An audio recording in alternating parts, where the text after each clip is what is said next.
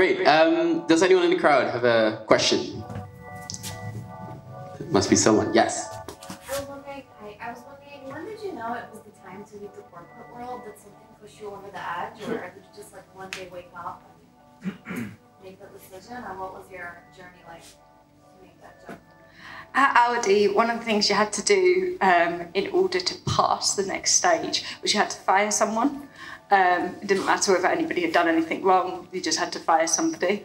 Um, and I um, really, I unfortunately, obviously had to do that in uh, and it's from my own company. It's obviously not anything that you would ever enjoy doing, but I think particularly when you just have to pick somebody. Um, and so this, I really remember, and it was really awful. This person, and he, he was an old gentleman who moved over from Turkey where he'd been like living for ten years, and. Um, yeah, he'd, he'd only been at Aldi for a little while and he was working as a store assistant and um, he didn't want to shave off his moustache and you can't have any facial hair when you're working with the food. And so we'd have, been having this ongoing conversation and he wasn't improving in other elements. And I remember on the day that I decided that this was the person that I was going to fire, he'd come in and he'd shaved completely.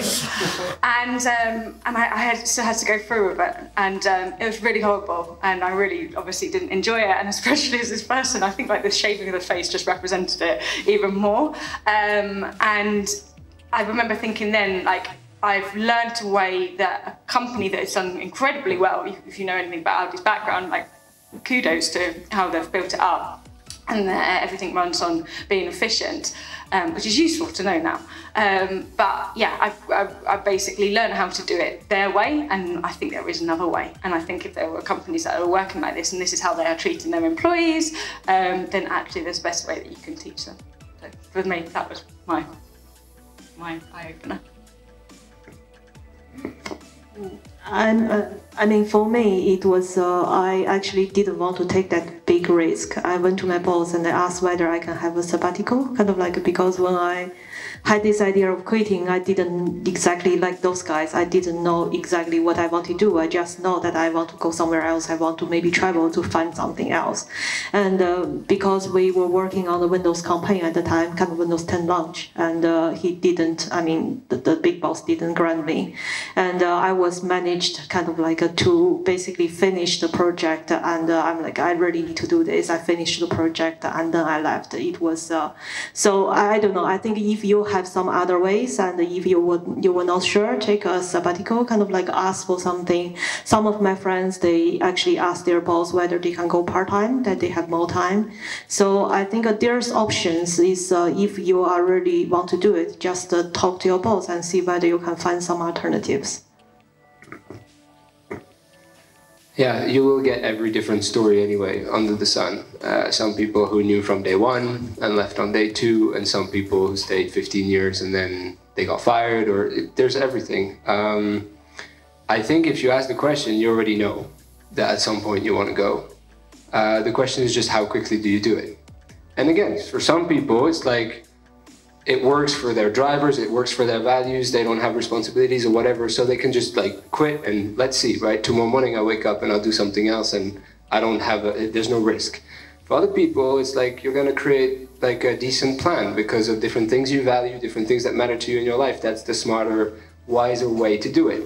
For, for this specific person, it might take six months or two years or so. I think it's not so much that you will you wake up one morning or something will happen inevitably in the company that will make you go over the edge. But it's more over a number of days of accumulated frustration and accumulated discomfort of like, this is not where I want to be, or there is something else there that I really aspire to do. And um, you start to develop that awareness that you're just, okay, at some point I got to do something about it instead of just staying here. And then knowing yourself enough to be wise in the way you structured that transition. Do you need to phase out and phase in? Do you need to transform your role or do you need to stop and start something new? There's the three ways basically. And it's different for everybody. So, but I think to some degree, the it's almost like the, if I was to use my example in this case, the point of discomfort has to be big enough.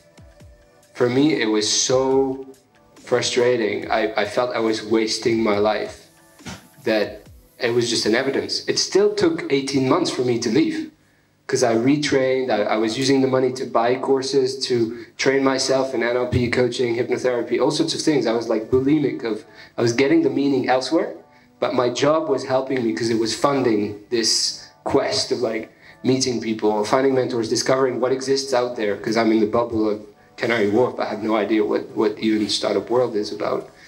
So that's what I'm saying. It doesn't have to be one day to the next.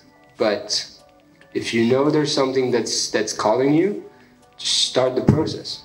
Start slowly by going to events and, and do more of that. Talk to people and it will happen in the time that it's supposed to happen for you. You've already. It's just when. You've, you've already done it. The reason you're here, you're spending time listening to us, uh, is because you've already made that decision. Um, my particular one was because I hired two people, and I probably should have been there to explain what my idea was on the first day that they turned up. So there's that.